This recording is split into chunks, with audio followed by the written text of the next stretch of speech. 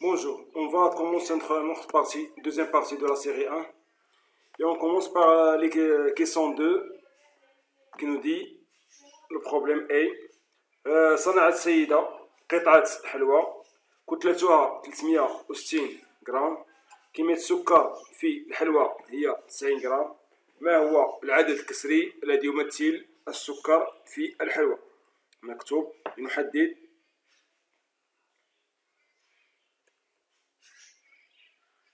العدد الكسري.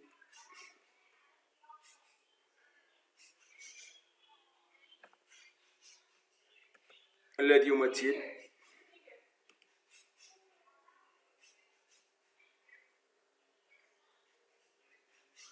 يمثل السكر.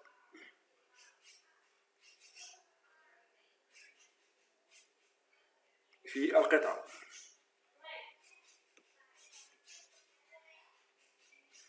ونعلم أن القطعة كلها كتلتها 360 غرام وكمية السكر في القطعة 90 غرام.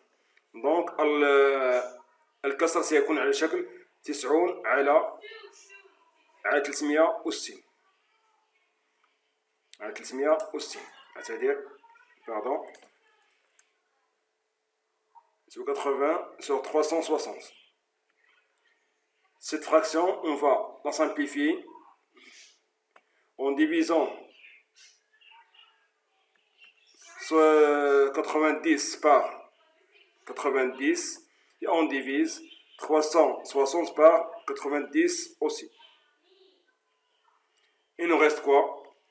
Il nous reste 1 sur 4. Maximum إذا إذا واحد أربعة. مكتوب هنا لدينا. ثم إذا واحد أربعة هو الكسر.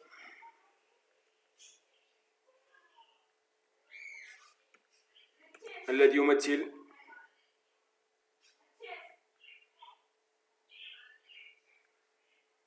كتلة السكر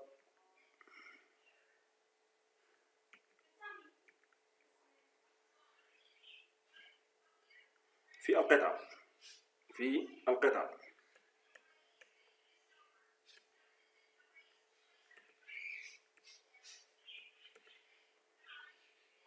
ننتقل الآن إلى السؤال الثاني. السؤال الثاني أكل الإبن سدس الحلوى فما هي كتلة السكر؟ التي استهلكها الابن. مكتوب كسؤال لنحدد السؤال الأول. السؤال الثاني اثنان. السؤال الثاني لنحدد لنحدد كتلة السكر.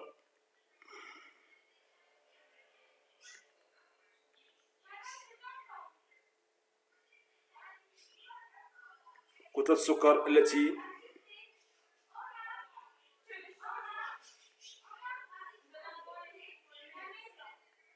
التي استهلكها أحمد. استهلكها ابني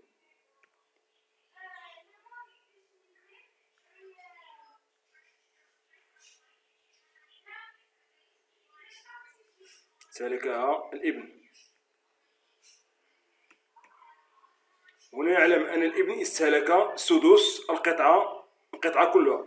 إذا نأخذ واحد على ستة. واحد على ستة في ماذا؟ في واحد على في تلتمية وستين غرام لنعلم الكتلة آه كتلة آه الحلوى التي استهلكها الطفل. ثم نضرب الكل في واحد على أربعة. إذا واحد على ستة في تلتمية وستين كتلة تمثل كتلة الحلوى التي أكلها الطفل.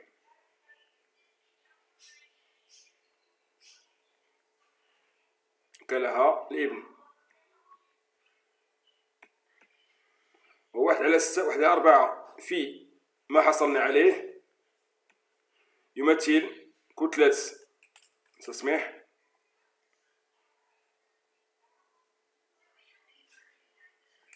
ابن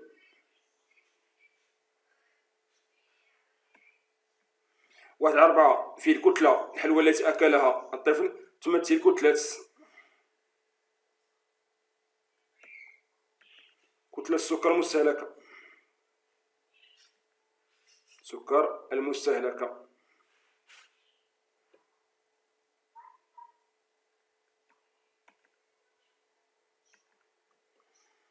نحصل نحسب الآن.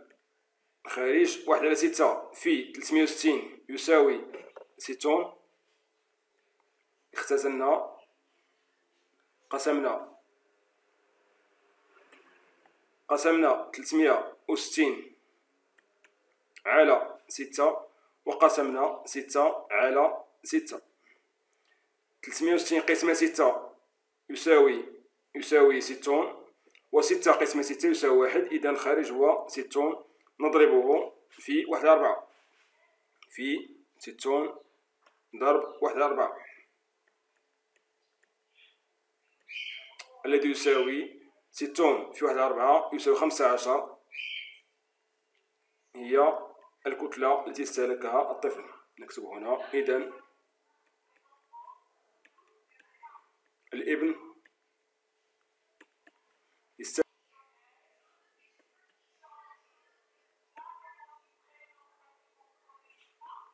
استهلك 15 غرام 15 غرام من السكر من السكر هكذا أنجزنا المسألة Est-ce que vous voyez l'écran Est-ce que vous voyez l'écran Oui, oui. Très bien. Oui, On demande de construire, on demande de construire de droites K et L qui sont parallèles. On construit de droites parallèles. On construit, hein, on construit de droites parallèles. La première droite est appelée, on construit une droite. La première est appelée, est appelée. On construit la deuxième. Comment, on construit la, la droite parallèle à K? Comment on va construire la droite parallèle à K? Quel instrument on va utiliser? Dépêchez-vous. Quoi? L'équerre. On dit l'équerre. On dit l'équerre. On va utiliser l'équerre. On prend l'équerre, on le pose sur la droite qu'on a déjà utilisé, construit. La première droite, on l'appelle, on l'appelle K. La première, on l'appelle K. On appelle cette droite K.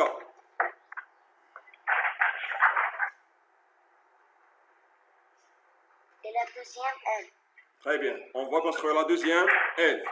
Pour construire la deuxième droite, on prend l'équerre, on le pose sur la droite K, puis on construit en deuxième droite. Perpendiculaire à K. Perpendiculaire K. Puis, on va construire. ne vois pas l'écran. On voit pas l'écran. Je ne vois pas la photo. L'écran. Sur, euh, sur euh, le nom. Sur euh, prof maths Windows 2. Vous ne voyez pas l'écran? Non, Oui, oui, oui, oui. Vous voyez la construction. on doit sortir. Vous voyez la construction. On doit sortir et on. Vous voyez ce que je viens de construire? Oui, oui. Très bien. Très bien. Oui. Oui, oui, oui. Oui. On a construit une droite K. Puis, j'ai construit une droite perpendiculaire à K en utilisant l'équerre. On construit une deuxième droite, troisième droite qui est perpendiculaire à la droite qu'on vient de construire en utilisant toujours l'équerre. C'est clair? Maintenant, on prolonge, on prolonge la droite qu'on vient de construire.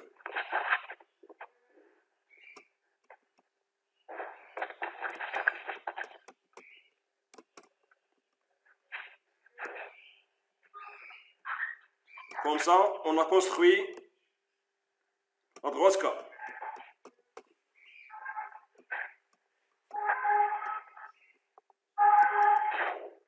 Qu'est-ce qu'on a construit maintenant? Qu'est-ce qu'on a construit? On construit un parallèle. On a construit la droite K, puis la droite L. Est-ce que les droites sont claires On nomme la deuxième droite L. On demande de construire une de- troisième droite L, D, perpendiculaire à L. On demande de construire troisième droite qui est perpendiculaire à L. On va construire la troisième droite qui est perpendiculaire à elle.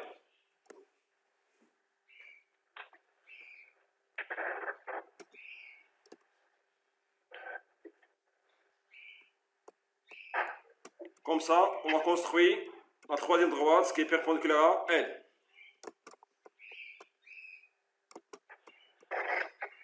On l'appelle D. On l'appelle D.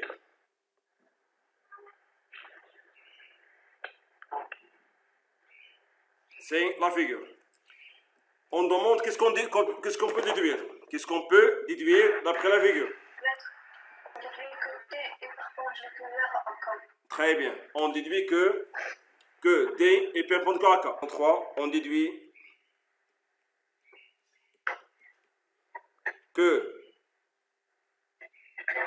que, E, que D est perpendiculaire.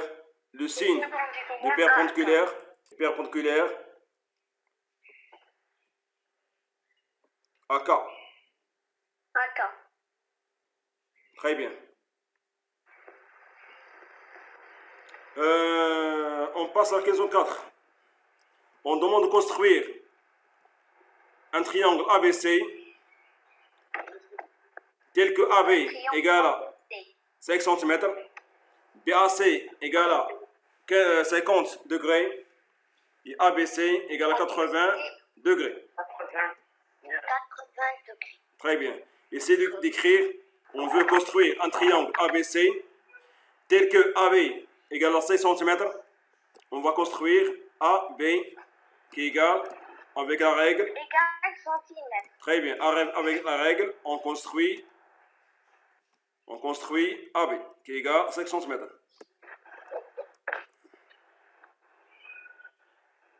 AP. Égal à 5 cm.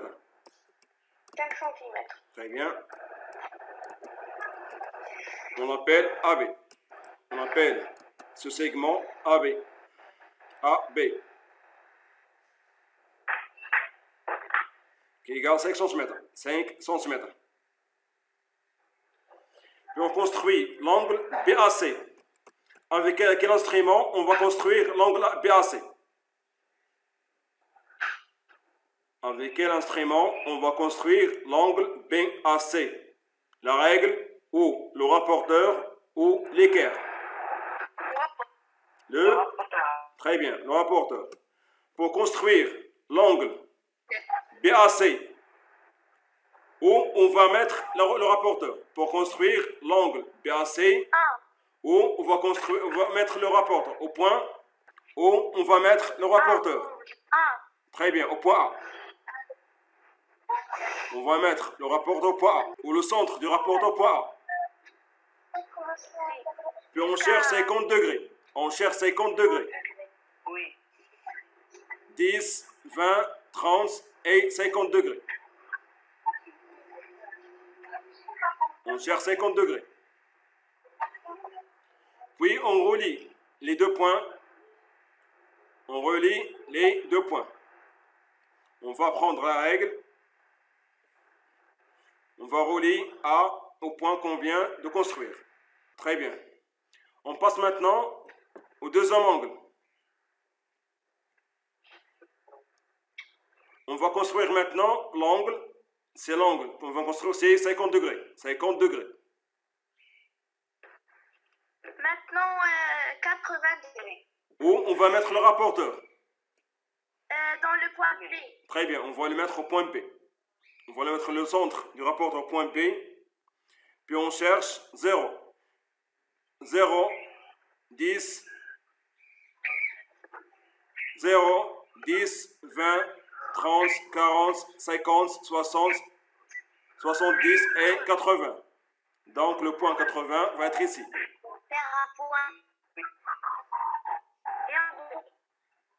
Et on relie les deux points avec la règle. Très bien. Maintenant, on va construire.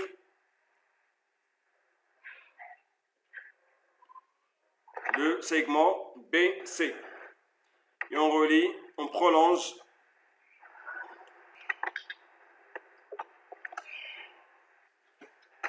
Comme ça, on a construit le point C. Et 80 degrés, 80 degrés. L'angle est 80 degrés. Cet angle est appelé C. Ce point est appelé C. La question est comment calculer ACB. ABC plus, plus BAC est, est, est égal 100, 130. Euh, on- euh, euh, euh, la, la calcul de, de, ACB est 5 50 degrés. On, on fait so- euh, 100 quatre- 180 euh, moins 130 est égal à 50 degrés. Très bien. D'où vient 180 D'où vient 180 Le total de, de, de 3 Total de quoi? total de ABC. La somme 180 est la somme des mesures du angle du triangle. Oui, ma, oui. On commence par, on commence par, on a, on a A, B, C, plus A, C, plus euh, ACB, Est égal plus B, A, C, la somme égale 180. C'est clair? On commence par la somme des angles du triangle, qui égale 180. Égale à 180 degrés. 180 degrés. Puis on écrit, donc, ACB va être égal à quoi? Plus 1 donc ACB Va être égal à, égal à 180 moins quoi?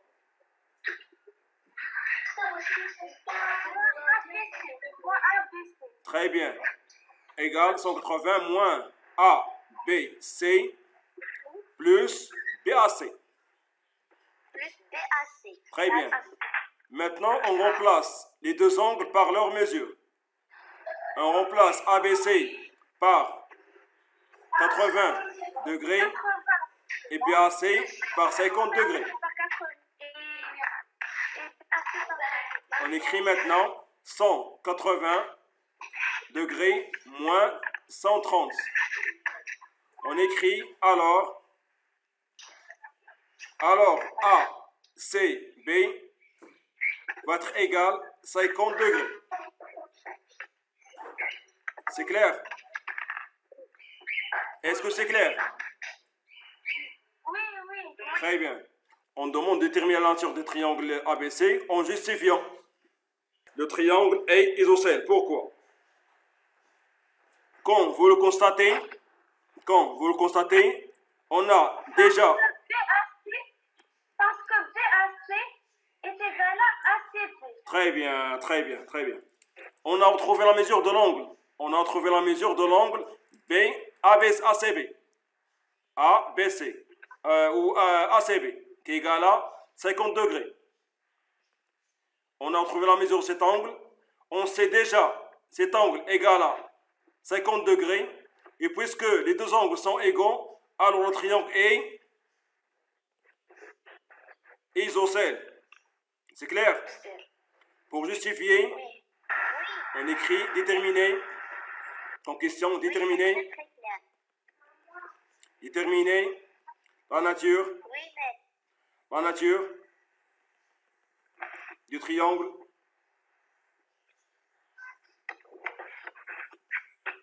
du triangle ABC. Pour justifier, on écrit on a, on écrit on a, on a ACB, on a ACB égale BAC. Ces deux angles sont égaux, qui est égal à 50 degrés. Donc,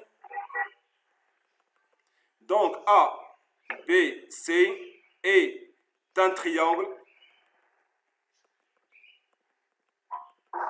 d'un triangle isocèle.